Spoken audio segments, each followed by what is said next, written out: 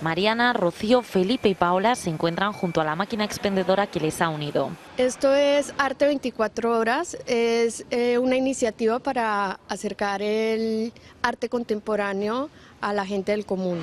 Una forma sencilla y barata de tener una obra de arte en casa.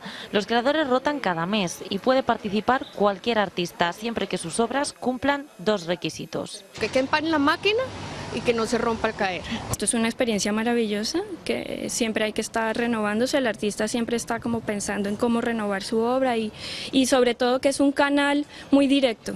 Comprar una obra de arte es tan sencillo como adquirir cualquier otro producto. Tras introducir el dinero, marcamos el número y ya tenemos la pieza lista para llevarnos la casa. Una obra de arte que ha tenido un proceso creativo previo.